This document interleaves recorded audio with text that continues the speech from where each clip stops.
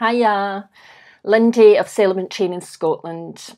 I know many of you have reached out and um, asked about celebrant training courses, and so I wanted to come on and update you as to where we're at with the training, just so that you're not being left hanging and waiting for something that's not going to happen. Because we have just completed the last new celebrant training course of 2021. So that means there will not be any more uh, new celebrant training this year.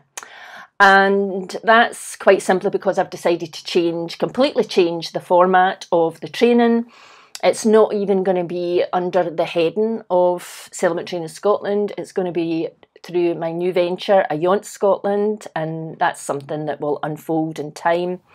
But what that means is if you're somebody that's looking to train to become a celebrant, then uh, th- there are no training opportunities going to be available this year here at Celebrant Training Scotland. There will still be training, but it will be more practical skills training for those celebrants who are already trained and who are out there practicing. And I wouldn't even advise that you hang off to 2022 for courses that come up then. I know our courses are really popular, but as I say, the format's going to completely change and it's probably going to be a year long programme. And so I know lots of you, or certainly many of you, are looking for a more short, intensive course that you can um, enroll on so that you can get it done and get out there and start practicing as a celebrant. But that's not going to be with um, with Celebrant Training Scotland. As I say, I want to completely change the format, how we approach ceremony, and um, and so uh, yeah, it's going to be a much longer program, and um, and I don't even know what it's going to look like at the moment. I've a wee bit of an idea, but hey ho.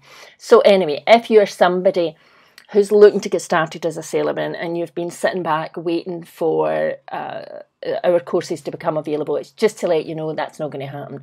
So I would advise that you do your research and look at the other training providers and find one who is a match for you, is going to provide what you think is the best value for money.